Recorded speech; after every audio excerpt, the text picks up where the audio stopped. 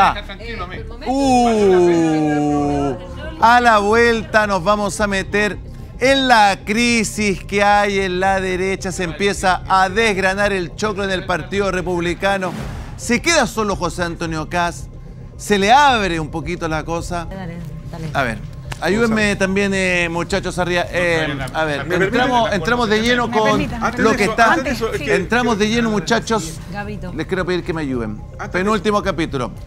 A lo que tuvimos al principio del programa, tuvimos eh, entrevista exclusiva con Johannes Kaiser después de meter un tuit, bomba del día, renunció debido a su degradación política que ha estado viviendo al interior de republicano. ¿Y cómo se empieza a desgranar el choclo en republicano y cómo se empieza a complicar esto? A ver, Osvaldo. Tiene la mano en el corazón. Tiene la mano en el corazón, ¿no?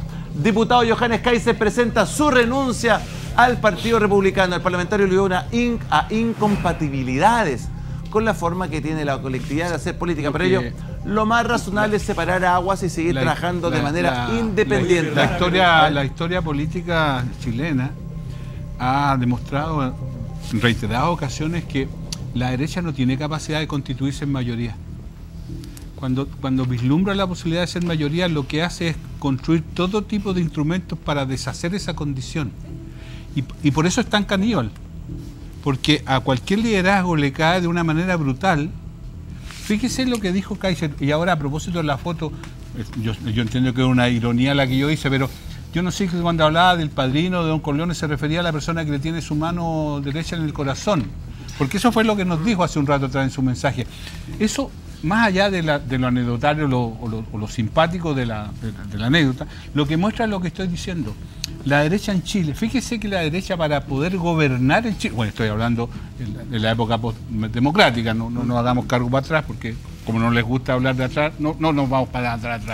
Pero fíjese que la, derecha en Chile, la derecha en Chile las veces, bueno, yo sí estaba vivo, ¿eh? por eso puedo hablar con propiedad. Y, háganle cargo a los que lo vivimos, porque... siempre te he dado la razón. Yo sé, y, te lo agradezco por eso. Fíjese usted que las dos veces que la derecha ha gobernado en el último tiempo, ha buscado una figura que tiene una matriz demócrata cristiana. Sí, Fíjese la paradoja. La derecha hace mucho rato que no es capaz de gobernar en Chile porque no tiene esa capacidad por sí sola. Porque cuando tiene la posibilidad de ser mayoría, la deshace con su conflictividad interna. No, no se sostienen. Miren lo que es la paradoja. por esa razón es que la derecha no está en condiciones de resolver los problemas de este país, porque no, tiene capacidad de gobernarse a sí misma. Y, y, es lo que está pasando con Republicano. Republicano tuvo un resultado espectacular mm. tiempo atrás se pasó a todos por encima, constituyó una mayoría en el Consejo, propuso una cuestión que la ciudadanía se la rechazó. Y fíjese que incluso se dividió en torno a su propuesta. No, si la derecha chilena es, bien patológica. ahí, ahí, lo, puso en el GC, Casi se empieza a quedar un poquito solo. Perdón, ningún emplazamiento para ustedes, que no, entiendo que ustedes no son de derecha. Inti, Sí, yo creo que la debacle del Partido Republicano comienza con el último plebiscito de la favor y en contra. Ahí vemos cuando referentes tan importantes para la derecha y para el Partido Republicano, tales como Tere Marinovich, Rojo Edwards, Gonzalo de la Carrera, Vanessa Kaiser, se desmarcan del Partido Republicano, vemos que en este momento empieza una debacle, una caída en picada de la derecha y especialmente del Partido Republicano. Yo lo que veo aquí es cómo, fracasa un proyecto político en tiempo récord.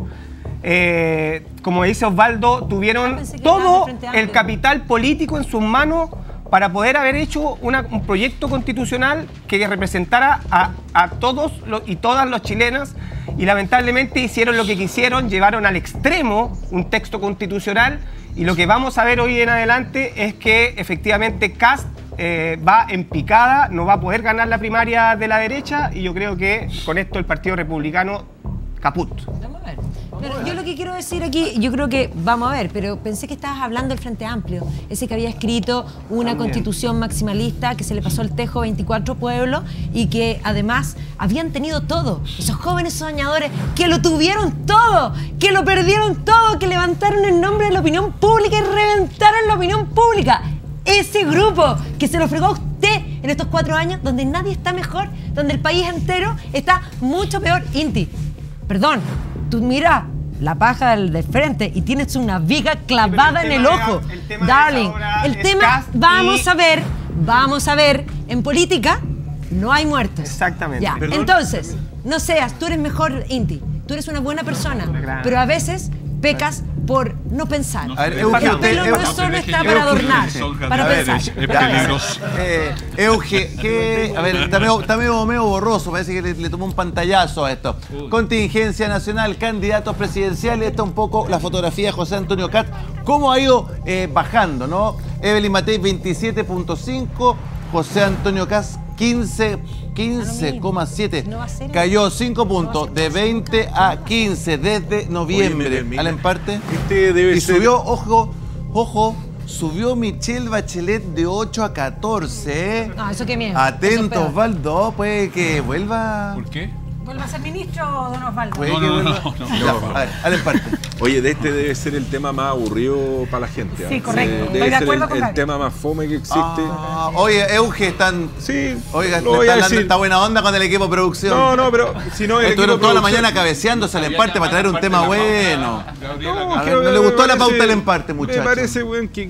O sea, a ver, está bien. Yo creo que lo que hay aquí, señoras y señoras, es que Chile ya se cansó los extremos.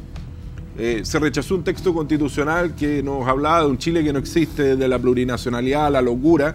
Y después se rechazó otro texto donde los republicanos se dieron gustito, y eso hay que decirlo con todas sus letras. El hay que, el, el, el- el quién o el qué de la norma del aborto hizo perder la cantidad de votos que se perdieron entre pero mujeres.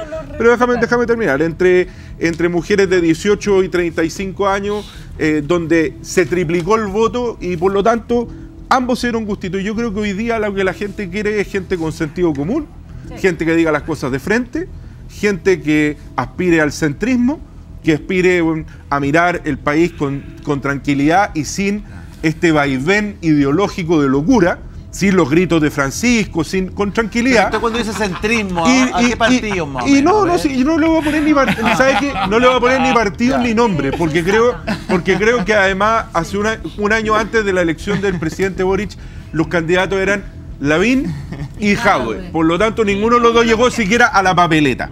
Pero lo que sí yo espero, y no puedo dejar pasar del tema anterior, es que hay que decir las cosas con verdad. Yo quiero aquí emplazar a, a Juan Andrés, que nos hace una, un repaso ¿pa' dónde me va a respecto del tema de la seguridad y cómo el Partido Comunista lo ha enfrentado. Nos cuenta un cuento maravilloso. El Partido Comunista propuso ideas en materia de seguridad. a ver, espérese, pero yo quiero recordar, yo quiero, un momento, déjame terminar. esto. Pero déjame Entonces va a querer responder Juan Andrés. Sí, Juan bueno. Andrés no lo van a dejar responder. Bueno, más de yo 20 minutos. voy a tener que decir solo una cosa. Voy a decir solo una cosa.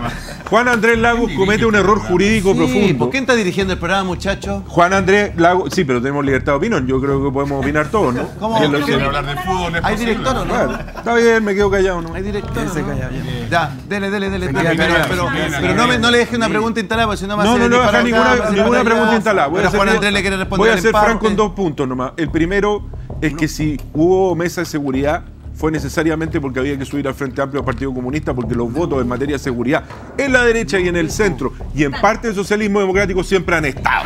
Ya. Primera cosa. Segunda cosa, Juan Andrés Lagos comete un error que yo he repetido en este programa 1800 veces. Existe la ley 21.453 que modificó el Código Tributario y en su artículo 52 bis estableció en este gobierno, firmado por la vicepresidenta Ike Asiches, una norma específica que cualquier transacción sobre 1.500 UF tiene que ser informada por los bancos a la unidad de análisis financiero. Por lo tanto, el secreto bancario en Chile está levantado. Déjense de inventar el cuento de la ley de secreto ver, bancario, ya, por favor. Ya, ya, ya. Sí. Necesito, necesito, necesito, necesito seguir con el tema. A ver, eh, Euge.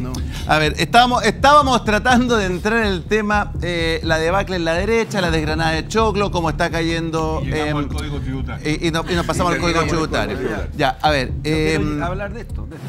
¿De esto quiere hablar? Sí. Ya, a ver. No, mira, yo lo que creo es que el escenario político electoral está totalmente abierto en Chile.